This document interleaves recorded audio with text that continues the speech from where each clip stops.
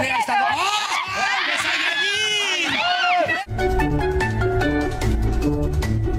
Vamos a hablar por primera vez, pues, este, de los amores ocultos del señor Vadillo. Exacto. Aquí te vas a ver toda la verdad. Yo necesito amor, comprensión y ternura. Aquí el staff se, le hizo se le hizo agua a la boca con todo el chorizo que tienen ahí colgado, entonces que si les puedes traer. ¡Ah!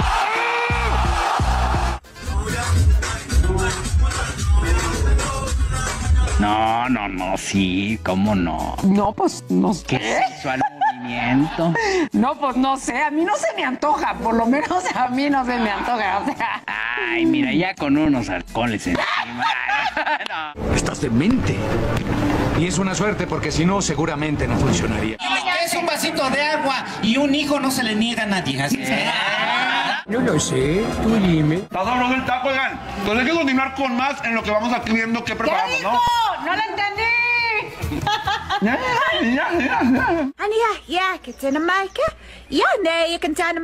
El talento tú los mueves y salen con canciones. Ahí está, este señor no tiene nada. Hablemos de otra cosa. ¿Ya te molestaste? Mejor, ya me enojé porque. Pero tú sabes hago algo más buena- Además estoy bien crudo porque ayer. Viejos, ando crudo.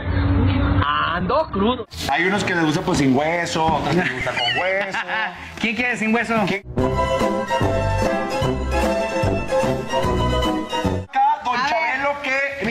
ay, juez su mouse. No, bueno. Ya tenemos para el blooper de la semana. Otra vez tú acá. Ya no sé qué hacer contigo.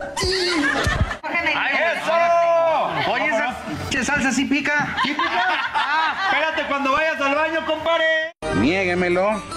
Mencionen cuál es la edad de la chicuela. Si nos remontamos, querido profesor, a la historia, es muy, muy parejo a Munra el Inmortal. No seas irrespetuoso. Munra no tiene nada que ver en esto y lo.